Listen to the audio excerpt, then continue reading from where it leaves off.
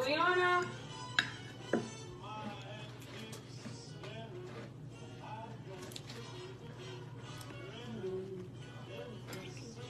Yeah, can you give me another glass of milk? Did Juliana eat her food? Did she eat the whole thing? I think so. Are you freaking kidding me? Are you you didn't just do that. Oh my goodness, Kurt, you cannot be that lazy. Whoa, whoa, you're calling me lazy? I want a gold medal with a broken freaking neck. Oh my goodness. If you pull that Olympic gold medal card on me one more time, I'm not even joking.